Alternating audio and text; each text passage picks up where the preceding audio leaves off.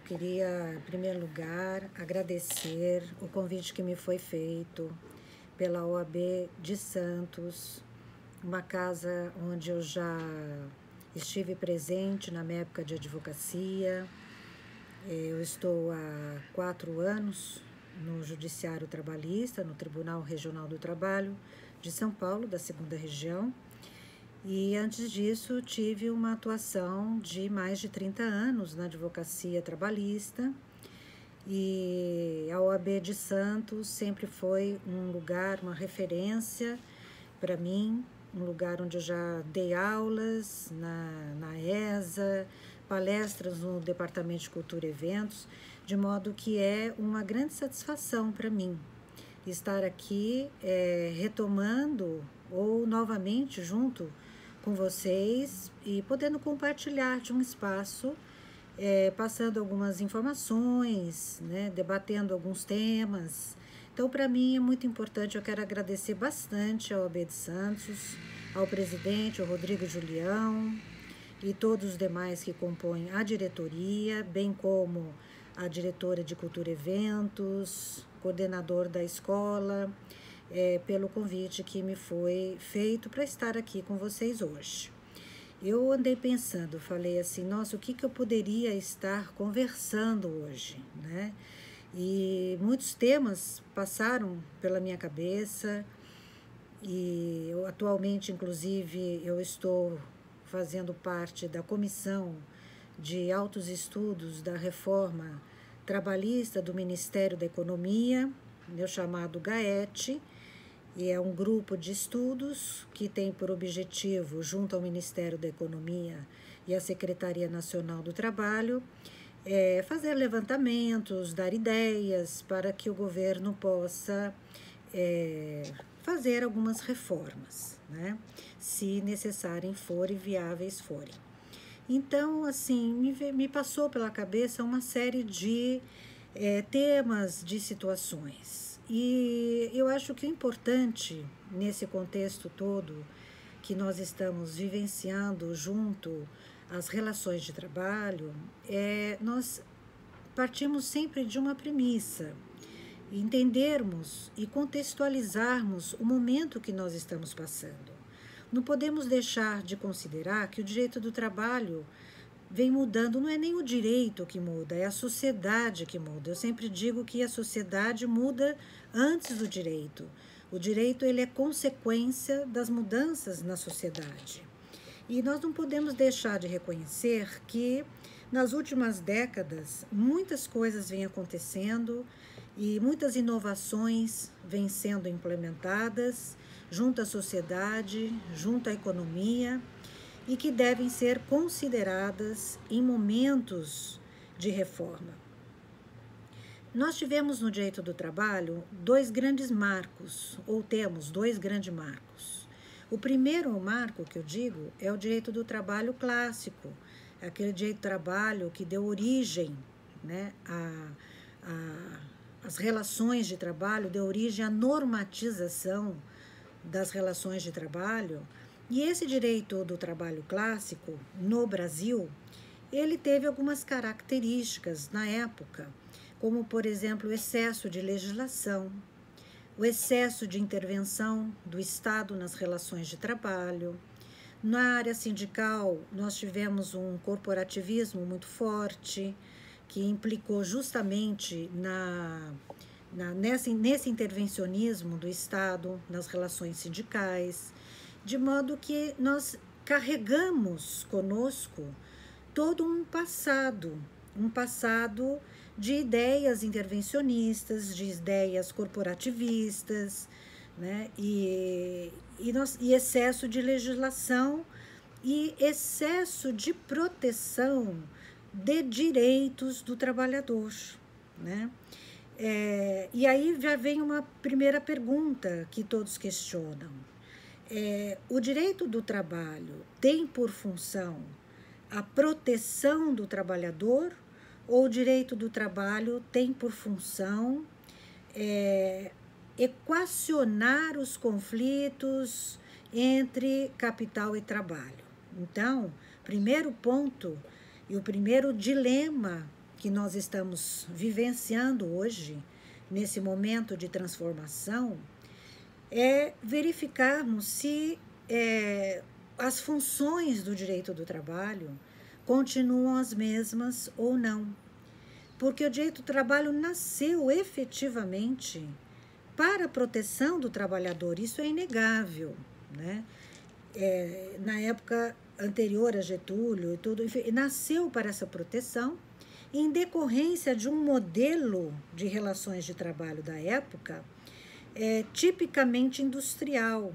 Então, os empregos eles acabavam se, se colocando preponderantemente perante as indústrias, junto às indústrias. Então, nós tínhamos uma forma de trabalho naquela época. Com isso, havia muita exploração do trabalho humano, né? e daí a necessidade de proteções no sentido de garantia de direitos do trabalhador empregado, como era até então os tipos de trabalhos existentes, do tipo de trabalho existente. Bem, é, o tempo passou, a, as relações de trabalho evoluíram e muito contribuiu para essa evolução as chamadas revoluções tecnológicas. Eu não estou contando nenhuma novidade aqui, apenas para a gente situar. É, a revolução tecnológica começou lá pelas décadas de 1970. E, inclusive, é, muitos de nós nos lembramos, é, e eu me lembro perfeitamente, quando veio o computador, né, é, o celular, enfim, todas essas ferramentas, elas foram criadas e foram incluídas no mercado e naquele momento as coisas começaram a modificar. E essa revolução tecnológica 70, na verdade, ela continua, né? Ela vem crescendo, vem sendo desmembrada, né? Várias outras revoluções tecnológicas aconteceram durante esse período todo até chegarmos no momento atual. E aí, quando existe essa mudança né, do direito do trabalho clássico para o direito do trabalho contemporâneo, com todas essas inovações tecnológicas, o mundo do trabalho começa a modificar e ele começa a ter uma nova conotação. Por que uma nova conotação? Porque aquele trabalho clássico nas indústrias começa a desaparecer e começam a surgir novas profissões desconhecidas até então. O que faz, então, o direito do trabalho contemporâneo? Começa a olhar para as novas realidades. Quais são essas novas realidades? Novas profissões, como nós já sabemos, não precisamos dizer, que nós temos muitas aí é, desconhecidas que já existiam antes e agora outras que se incluíram dentro desse contexto todo. Nós temos um crescimento do trabalho autônomo, porque começa o desemprego estrutural. Aliás, o desemprego estrutural é uma característica própria, típica do, do direito contemporâneo. Quando a gente fala em direito contemporâneo, estou querendo me referir a esse momento do mercado de trabalho onde tudo começa a modificar, onde as tecnologias começam a surgir, onde novas profissões começam a ser implementadas, as pessoas começam a, a trabalhar né, virtualmente, começam a trabalhar via é, ferramentas tecnológicas, aí começa uma aproximação maior entre os países do mundo, né? Então a gente, tudo isso vai mudando a vida das pessoas. Então o que que acontece? Aquele emprego antigo da indústria, ele começa a ceder espaço para as ferramentas tecnológicas e aqueles trabalhadores começam a ficar sem emprego, e tendo que se requalificar, tendo que buscar outras oportunidades de trabalho. Então, o desemprego estrutural é uma característica própria do direito do trabalho contemporâneo, não é do direito do trabalho clássico, em decorrência das mudanças tecnológicas. Então, aquele trabalhador que ficou sem o emprego dele, né, por mudanças no mercado de trabalho, ele acaba vendo ou tendo que trabalhar de outras formas para poder sobreviver. Então, o que nós temos no direito do trabalho contemporâneo? O crescimento exacerbado do trabalho autônomo. Isso é uma característica típica. E isso vem até os dias de hoje, porque isso vem crescendo. Desde 1970 a gente vive isso. Então, essas mudanças vêm acontecendo gradativamente. Então, não é de hoje isso. Isso já é de um bom tempo. Então, cresce o trabalhador autônomo, cresce a, o trabalho por meio de prestação de serviços.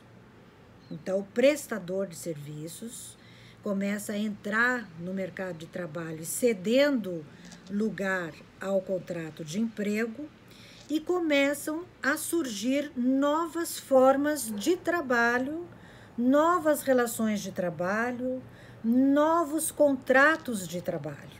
Aí começa toda essa modificação, né? E então, é, dentro desse contexto do direito do trabalho contemporâneo, e que vem acontecendo ao longo das últimas décadas, nós chegamos hoje, vamos dizer que eu não digo que tudo o que está acontecendo hoje é uma novidade. Eu digo que tudo o que está acontecendo hoje é a demonstração efetiva de todas as mudanças que aconteceram nas últimas décadas. Nada muda do dia para a noite, a sociedade não muda, o mercado de trabalho não muda do dia para a noite, não é em um mês, em um ano. Isso é uma construção da sociedade, não é uma construção do direito, é uma construção da sociedade que vem acontecendo ao longo das últimas décadas. Então, parece coincidência ou não, não sei dizer isto, mas o momento que nós estamos vivendo hoje, na pandemia, é um momento de realização, de visualização do que está acontecendo no mundo do trabalho por todos. Né? Em especial, de alguns anos para cá, uns quatro, cinco anos, não sei, mais ou menos, né? Ou até um pouco mais, de dez anos para cá, é, aparecem também outras formas de trabalho. Então, o que, que a gente vê hoje? O que, que nós estamos visualizando hoje? Nós estamos visualizando é, formas e contratos de trabalho de maneira completamente diferente daquela que nós estávamos habituados. Veja o trabalho em plataforma.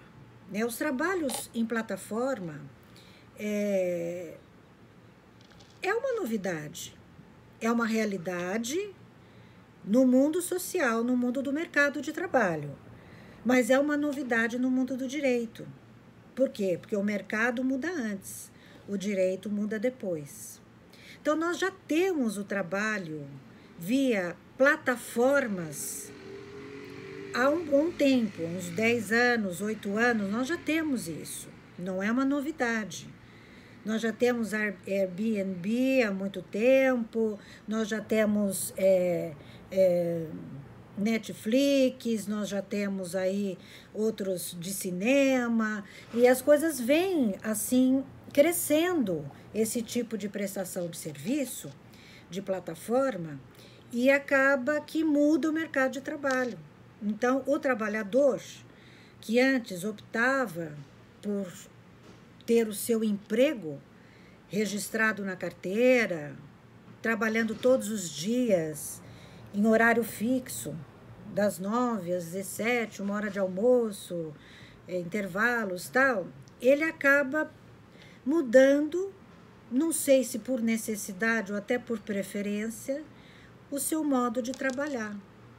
Então, se tornou atrativo para o trabalhador aderir aos trabalhos em plataforma.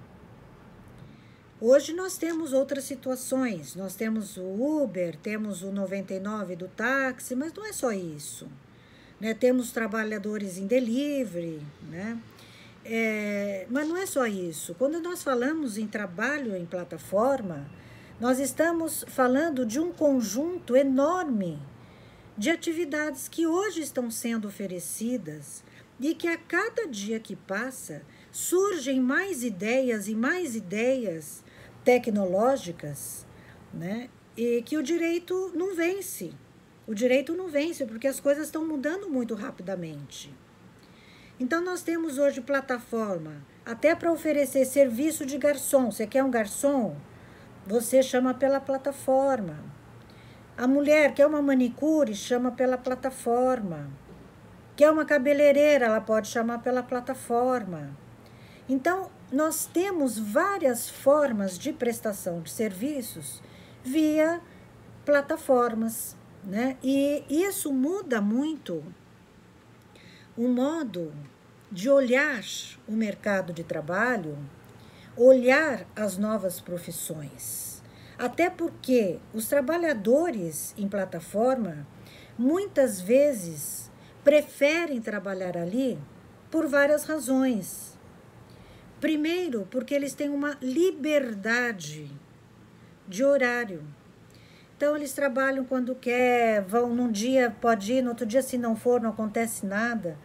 Então, ele tem uma liberdade de poder faltar, se necessário for para ele em alguma circunstância, sem qualquer prejuízo. É, ele tem essa liberdade, às vezes, escolha de horário, de trabalhar só de manhã, só à tarde, só à noite, misturar. Então, é, ele tem uma certa liberdade no modo de trabalho, porque ele não está obrigado a ir ou não trabalhar. E ele, por outro lado, tem um valor mais considerável em termos de ganho mensal do que se ele fosse registrado e contratado em carteira assinada. Então, veja, nós estamos lidando hoje com uma realidade muito delicada. Porque nós temos que olhar para o direito, mas nós temos que olhar para o trabalhador também, o que é melhor para ele. Né? O que acontece com isso? Hoje, nós temos um direito do trabalho no Brasil basicamente dividido em termos de relações de trabalho em dois grandes eixos. O empregado, que é o trabalhador subordinado, e temos o autônomo, que é um trabalhador não subordinado. Praticamente nós temos essas duas formas de contratação. Dentro do trabalho autônomo, que é o trabalho não subordinado, dali nós temos uma série de outras subdivisões de trabalhadores autônomos. Não é um tipo, não, são vários tipos de trabalhadores autônomos. Dentre esses tipos de trabalhadores autônomos, nós temos o trabalhador em plataforma. Então, o trabalhador em plataforma, na minha visão, ele é uma espécie de trabalho autônomo. Ele está encaixado dentro do trabalho autônomo. Isso eu estou falando como regra geral, porque tem muitas coisas que são casuísticas que nós temos que ver. Mas, em regra geral, ele está encaixado ao trabalho autônomo e não ao trabalho subordinado. E digo por quê? E digo por quê? Primeiro, porque ele tem essa liberdade de escolha de horário. Ele vai trabalhar quando ele quer. Ele vai trabalhar no horário que ele quer. Ele vai trabalhar no dia escolhido por ele. Alguns se apegam ao fato de que não, mas ele adere à plataforma. Quando ele entra na plataforma, ele tem que colocar o seu login e a sua senha. Bom, isso daí para mim não é subordinação. Isso está num critério administrativo da plataforma. Porque para a plataforma oferecer o serviço, ela precisa saber que aquele trabalhador está disponível para prestar aquele serviço. Então, ela tem que ter um controle né, administrativo para poder oferecer o serviço daquele trabalhador. Então, tem plataformas que falam: ó, você põe o seu login, a sua senha, para a gente saber que você está disponível. Se você está disponível, aí nós vamos colocar você no, no, no critério de escolha do cliente. Então, é uma forma administrativa, isso não é subordinação, na minha opinião, né? Por que, que não é subordinação? Porque ele tem a liberdade de colocar o seu login, a sua senha, no dia e na hora que ele quiser. Então a liberdade dele não é porque ele colocou, não colocou o login, a senha ou colocou, não é isso. A liberdade está no fato de que ele poderá ou não logar na plataforma. Essa é a escolha dele. A partir do momento em que ele escolheu que ele vai trabalhar tal dia e tal hora, aí ele vai logar na, na, na plataforma, colocando os seus dados para que ele possa entrar no sistema de escolha de prestação de serviços. Então, o que, que acontece com esses aplicativos, como regra geral? Esses aplicativos, eles atuam como intermediários entre o cliente e o prestador de serviços. Eles fazem uma intermediação. Para fazer essa intermediação, então cria-se a plataforma digital, né, que é uma ferramenta tecnológica. Essa ferramenta tecnológica ela deve ser administrada para que possa fazer essa intermediação, senão não existe a intermediação. Então são serviços e atividades que acabam se complementando. Um precisa do outro e um ajuda o outro. Não existe uma subordinação de um para com o outro. Existe apenas uma colaboração, porque cada um é especializado num tipo de atividade. Um é especializado em dirigir o automóvel, o outro é especializado em buscar o cliente, e o outro é o cliente. Então, eles acabam se complementando, como se fosse um sócio. Não é sócio, mas é como se fosse. Então, eu pessoalmente não vejo nesse quesito do login, da senha e tal, uma subordinação nesse tipo de atividade. Tá? Não existe a subordinação. Por outro lado, é, também, se o, o, o trabalhador quiser de se desplugar, vamos dizer assim, desculpa a minha forma, porque eu não entendo muito essas palavras de tecnológica, mas se o trabalhador quiser desplugar, sair dali, embora, parar, descansar um pouco, ah, estou cansado, vou parar aqui uma meia hora. Ele tem essa liberdade. Então, ele não tem como nós afirmarmos que ele é um trabalhador subordinado. Ele não é trabalhador subordinado. Por todos, toda a liberdade que ele tem. Né? É, agora, ah, mas ele não, não pode recusar o chamado.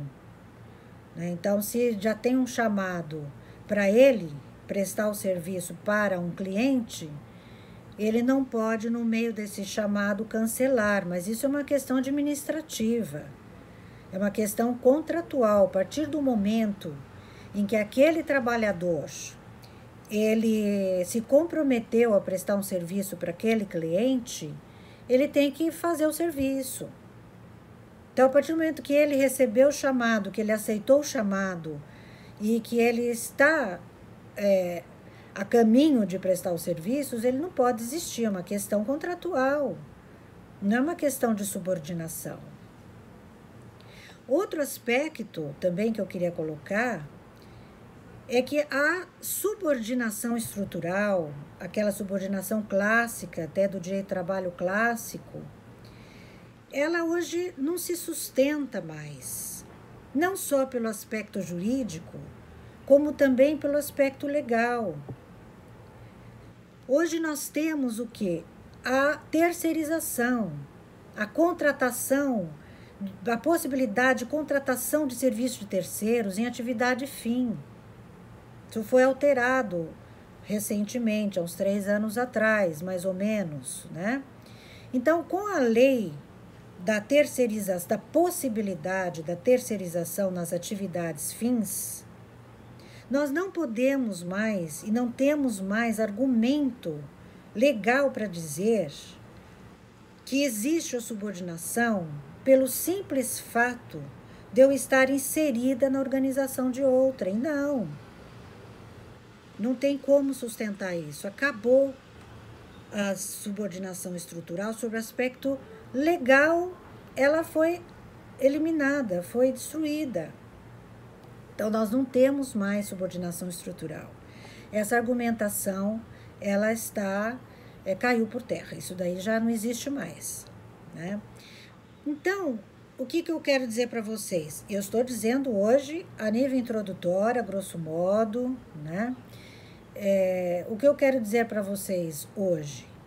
Que os, o mercado de trabalho, as formas alternativas de trabalho estão mudando, vem mudando, estão mudando e continuarão mudando. Tá? Então, primeiro ponto, esse do trabalho em plataforma, para mim não existe vínculo de emprego nenhum. Aí vem a outra discussão. Ah, mas eles são desprotegidos, esses trabalhadores em plataforma que é um tipo de trabalho autônomo, não é todo tipo de trabalho autônomo, tem vários, né? Ah, mas eles, esses trabalhadores é, em plataforma, eles não têm direito de nada, que não sei o que, tarará. Bom, pela nossa legislação, a legislação brasileira, não tem direito mesmo, porque se eles são trabalhadores autônomos, eles não têm direito a nada certo? Ah, mas eles precisam de previdência. Bom, eles podem contribuir para a previdência como trabalhador autônomo, basta ir lá e fazer o recolhimento. Né? Ah, mas e seguro-saúde? Bom, eles podem pagar o seguro-saúde deles, como todo trabalhador autônomo faz e presta serviços. Essa é a regra da legislação brasileira. Eles são trabalhadores autônomos. Tem uma corrente dentro da linha de reforma trabalhista, que é onde eu estou mais atuando, né, lá na comissão de reforma trabalhista do Ministério da Economia, e tem, logicamente, uma corrente que vai no sentido que, ah, mas nós precisamos fazer uma lei, elaborar um projeto de lei de proteção a esses trabalhadores no modelo do direito italiano. O que, que eu quero esclarecer aqui? O direito italiano, lá em 1990, muito tempo atrás, fez uma opção.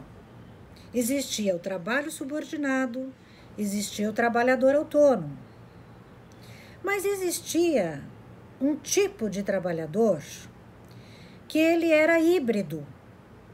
Ele ficava naquela zona cinzenta porque ele não era nem uma coisa e nem a outra. Ele tinha metade de um e metade de outra, característica de subordinado, característica de autônomo. O que fez o direito italiano na época, em 1990 para lá, é, criou um terceiro tipo de trabalhador, que eles chamam do trabalhador para subordinado, né? ou trabalhador é, semi-dependente, economicamente dependente. Outras legislações de outros países da Europa também foram seguindo essa orientação com outras denominações. Né? E criaram esse terceiro tipo de trabalhador, que ele era híbrido, ele não era, ele era subordinado e ele era tinha características de autônomo. Então ele era um trabalhador subordinado, mas ele não tinha só características de subordinado Ele era um trabalhador subordinado com características de autônomo. É outra hipótese. Esta terceira figura de trabalhador não existe no direito brasileiro. Nós não temos lei para definir essa terceira figura.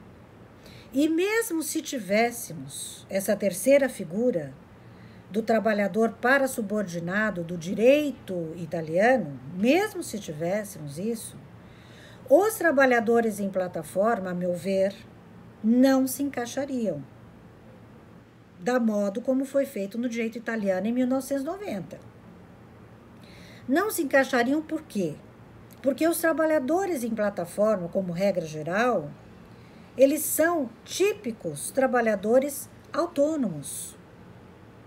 Não há característica nenhuma de subordinação. Eles não são subordinados. Eles são tipicamente trabalhadores autônomos. Eles não se encaixariam na figura híbrida, ou seja, não seriam trabalhadores híbridos, vamos dizer assim, se houvesse essa lei. Não, eles não se encaixariam nesse tipo de modalidade. Outra situação que eu quero colocar para reflexão é que eu, o trabalhador em plataforma é um tipo de trabalhador muito novo, é um tipo de trabalho muito recente. Não existia esse tipo de trabalho lá em 1990, um pouco depois, como foi feito pela legislação italiana, pela legislação espanhola. Então, não existia esse tipo ainda de trabalhador. Dentre os trabalhadores autônomos, não existia esse ainda. É uma figura nova. Os trabalhos em plataformas são super novos, não só no Brasil, como no mundo inteiro. E o mundo todo está discutindo. Como é que é isso? Que tipo de trabalho é esse? Se enquadra onde? É uma discussão mundial.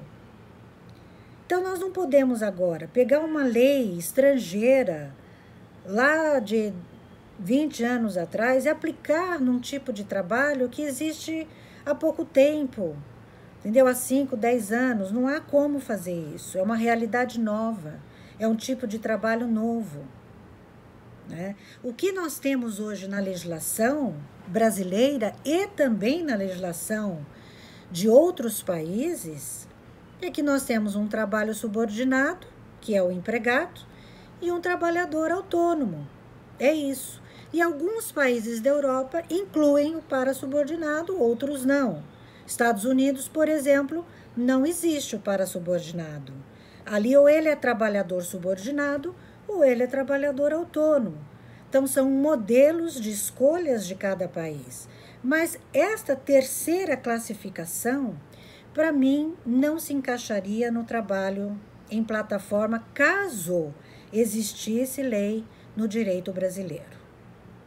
Então, essa é uma, uma situação, uma questão que eu gostaria de estar é, refletindo com vocês, né? É, a respeito dessa figura. Uh, o que fazer, então, com os trabalhadores em plataforma? Como é que nós vamos trabalhar esse tipo de situação. Né? Bom, eu tenho uma posição pessoal minha.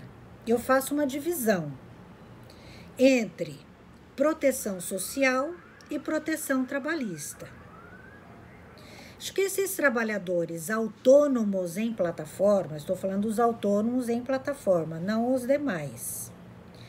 Esses trabalhadores autônomos em plataforma, podem até ter proteção social. Eu acho que é justo a proteção social.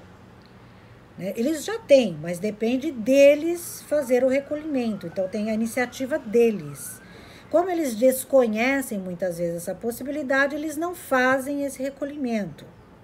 Então, nada impede de termos uma legislação garantindo a eles essa proteção social, que é a previdência social, o seguro saúde, seguro de vida, né? coisas nesse estilo. Né? Mas eu não consigo realmente encaixar aí, e acho que não é o caso, de proteção trabalhista, que são direitos de empregado. até porque eles não são empregados. Então, direitos que seriam para empregado, férias, décimo terceiro, estou falando assim, né, ampassando, é, jornada, limitação de jornada, eu, eu não, não vejo como aplicar a eles, por lei, esse tipo de proteção. Acho que não é o caso, porque aí nós estaríamos fazendo de um trabalhador autônomo empregado. E não é essa a nossa lei. Nossa lei não é assim. Né? Desta maneira, é, a título de reflexão quanto ao tema, que é ainda bastante controvertido, eu poderia concluir o seguinte: os trabalhadores autônomos em plataforma. Não há vínculo de emprego. Isso daí, para mim, eu acho que é ponto pacífico. Não há a menor dúvida disso. Não existe subordinação jurídica. Porque a subordinação que nós temos que aplicar nesses casos é a subordinação jurídica. Não há subordinação jurídica. Não existe vínculo de emprego. Eles são trabalhadores tipicamente autônomos. Essa é uma conclusão que eu faço. A segunda conclusão que eu faço nesse momento eles precisam de uma certa proteção? Precisam. Precisam de uma proteção social. Eles precisam de uma previdência social, eles precisam de um seguro saúde, né? eles precisam de um seguro de vida, dependendo da atividade, se forem os motoboys, por exemplo. Quer dizer, existe, precisa sim de uma proteção social que a empresa pode conceder a eles via contrato ou fazendo-se uma lei nesse sentido, não sei. Bom, como é que nós vamos fazer então para tirar esse tipo de trabalhador autônomo da informalidade e passá-lo para a formalidade, que esse é um grande problema. Aí eu pergunto: a formalização de um contrato de trabalho precisa necessariamente passar pelo registro na carteira de trabalho e ser empregado, ou seja, é só o empregado que é trabalhador formal, é só o trabalhador com registro na carteira que é o trabalhador formal? Não. Existem outras formas de você formalizar e incluir esse tipo de trabalhador que não seja só via é, relação de emprego e também via assinatura na carteira de trabalho. Nesse caso dos trabalhadores em plataforma, autônomos em plataforma, uma solução que eu acho viável seria que eles fossem contratados via MEI, microempreendedores individuais.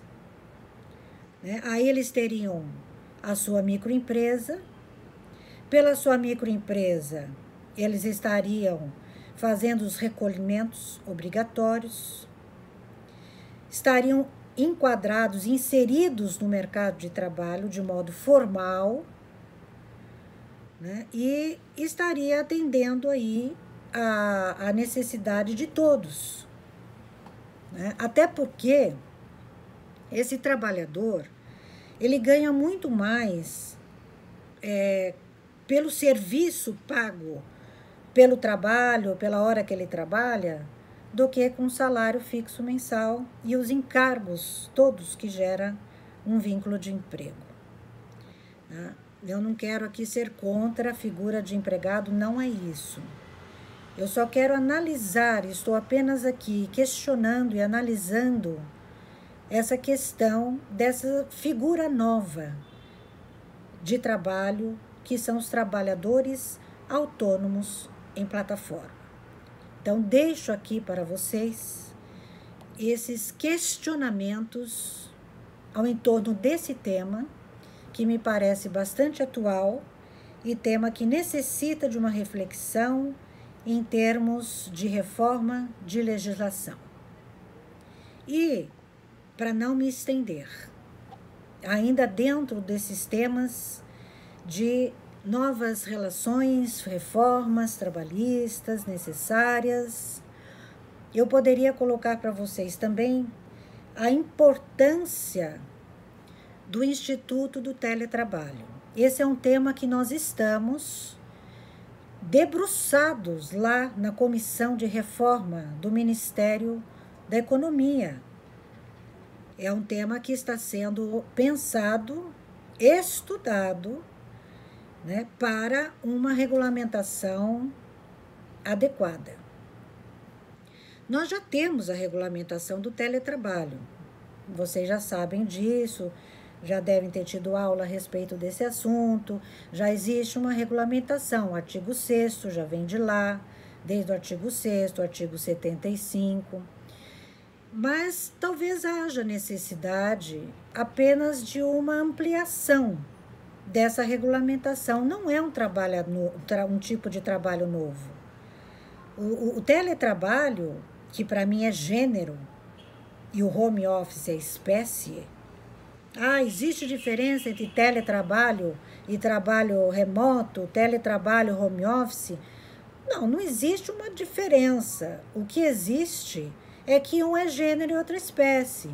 Porque o teletrabalho é todo o trabalho à distância, com a utilização das ferramentas, das tecnologias de comunicação e informação.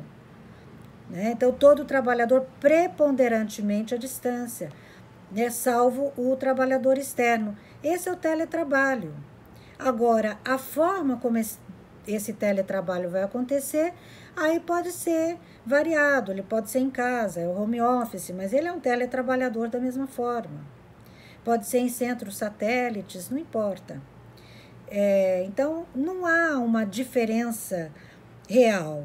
O que há é diferenças de local de trabalho, essas coisas assim, né? Na minha visão, é isso. Então, não concordo que sejam coisas diferentes, não. Eu acho que é a mesma coisa, um é gênero e outra espécie. Então, esse trabalhador também em plataforma é uma tendência, né? Uma tendência, é, é bom para os dois lados, né? Eu acho que nós já temos uma regulamentação é, satisfatória no sentido de que já dá para fazer esse tipo de contrato, esse tipo de modo de trabalho não há necessidade de esperar uma lei, mas é importante que haja uma legislação um pouco mais elaborada é, sobre esse tema, no sentido só de esclarecer detalhes duvidosos. Por exemplo, tem hora extra, não tem hora extra? Na minha opinião, o trabalhador em teletrabalho, esse tipo de trabalho, é incompatível com controle de horário, como regra geral. Porque não é o objetivo do teletrabalho, não é controle de horário, é liberdade de horário. Então, nós temos que ver qual é a essência do teletrabalho. Né? Na minha modo de, viser, de, de ver, né? É, inclusive foi tema da minha tese de doutoramento na USP, essa questão da flexibilização de horários e tudo mais. Então, na minha forma de ver, o teletrabalhador, a essência do teletrabalho é dar ao trabalhador a liberdade de escolher o horário em que ele quer trabalhar. Não é a liberdade de escolha da jornada, são coisas diferentes. Jornada de trabalho é uma coisa, horário de trabalho é outra coisa.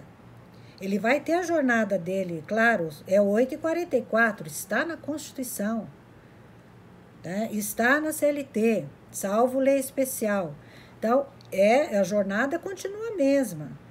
O que ele não tem, porque o objetivo do trabalho, do teletrabalho ou do trabalho home office, o que ele não tem é uma rigidez, e não deve ter, na minha opinião, é uma rigidez no horário em que ele vai trabalhar. Então, ele pode escolher se ele vai trabalhar essas oito horas, de manhã, ou à tarde, ou à noite, ou misturar. Ele que vai fazer o horário dele para atender às conveniências do trabalhador, porque ele tem essa liberdade então, de escolha de horário, desde que ele trabalhe as oito horas por dia. Né? Para aqueles que trabalham por meta, fica mais fácil o controle, porque a empresa não vai ver o horário que ele trabalhou, vai ver o que ele fez, é a atividade que ele fez, é o trabalho que ele entregou. Né? Então, aí existe uma questãozinha nesse tema aí, que é a questão das horas extras. Para mim, existe, em regra geral, uma incompatibilidade entre é, o teletrabalho e o controle de jornada, mas existem teletrabalhadores que têm controle de jornada, mas isso é casuística, não dá para generalizar. Isso tem que ver ou caso a caso ou setor a setor. Né? Então, essa é, é, é a minha meu modo de pensar né, a respeito do teletrabalho e outras questões mais, quem deve arcar com equipamento, essas coisas. Então, quer dizer, uma lei nesse sentido seria interessante. Inclusive, a medida provisória 927, né, que caducou, infelizmente caducou, ela trazia regras a respeito disso, inclusive dos equipamentos, né, os equipamentos eles tinham que ser objeto de acordo individual, e os equipamentos poderiam ser fornecidos em comodato. Então, ela tinha essa, esse viés, né? de regulamentar um pouco essa questão e era, foi, era bem positiva nesse sentido a medida provisória 927. É, mas caducou, né? o Congresso não colocou em, em votação, então aquelas regras que ali estavam perderam a vigência, salvo nos contratos que foram feitos durante a sua vigência, porque a medida provisória 927 ela teve a sua vigência os contratos individuais que foram realizados ali na sua vigência, na minha forma de pensar, eles são válidos, porque é ato jurídico perfeito e acabado. Nós temos que respeitar a boa-fé do contrato. Então, os contratos que foram feitos na, na vigência da medida provisória 927, esses contratos devem ser cumpridos até o seu final mesmo depois da vigência da MP 927. Entendeu? Então, é uma questão até de segurança jurídica, boa-fé e validade de ato, de ato lícito. Então, fez o contrato durante a medida provisória, ele vale até o seu final nas regras como ali ele consta. Né? Esta é a minha avaliação a respeito desse tema. Bom, além do teletrabalho, nós poderíamos ainda passear por muitos outros temas para debater, para conversar, né, dentro dessas mudanças todas que nós estamos passando. Né, os modelos sindicais, nós temos necessidade de uma reforma sindical. É importante uma reforma sindical, importantíssimo. Nós temos que ter reforma sindical, nós temos que ter a ratificação da Convenção 87 da OIT. A liberdade sindical se faz premente. É importante a liberdade sindical. Pode até existir alguns alguns critérios ao torno disso, mas é importante a contribuição sindical não pode ser obrigatória. Não é da liberdade sindical a contribuição obrigatória. Essa já foi extinta, não tem como voltar mais. Senão estaríamos aí voltando ao nosso modelo corporativista. Não é? Os sindicatos estão passando por um momento é, de fragilidade e eles vão ter que se reerguer, se reinventar, serem enquadrados dentro dessa nova forma né, de visão que todos nós estamos sendo obrigados a, a, a inserir. Né? Cada um de nós, não são só os sindicatos, as empresas, todo mundo sendo obrigado a rever né, as suas formas de trabalho, reinventar, criar, é o novo. Né? Nós temos aí um novo a enfrentar. Então, nós temos um mundo é, de assuntos e temas para serem debatidos. Né? E eu queria, é, nessa, nesse breve contato que eu estou tendo com vocês agora, eu queria apenas passar algumas mensagens, algumas ideias, queria passar alguns temas para discussão, me colocar à disposição para que a gente possa estar debatendo todos esses temas na OAB de Santos. Acho que é um lugar muito importante para esses debates, né? E eu poder passar também mais informações, mais ideias, né? E estarmos aí conversando também com a Comissão de Reforma Trabalhista do Ministério da Economia. É importante essa aproximação junto a essa comissão, né? Então, em vez de, de não aproximar, aproximar, debater, incluir, né? incluir os membros para discussão.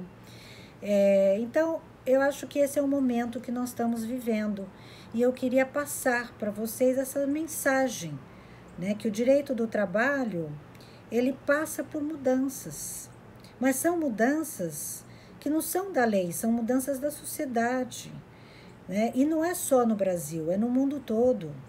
Então, nós temos que repensar um pouco mais em algumas, algumas formas, alguns detalhes do direito do trabalho para que nós possamos continuar com um direito do trabalho novo, mas também um direito do trabalho vivo e empolgante, como foi este direito do trabalho que eu vivi por todo o meu período de advocacia. Eu quero agradecer imensamente a vocês que estão me ouvindo, ao presidente da OAB de Santos, Rodrigo Julião, a todos os membros da diretoria e um grande abraço a todos pela atenção.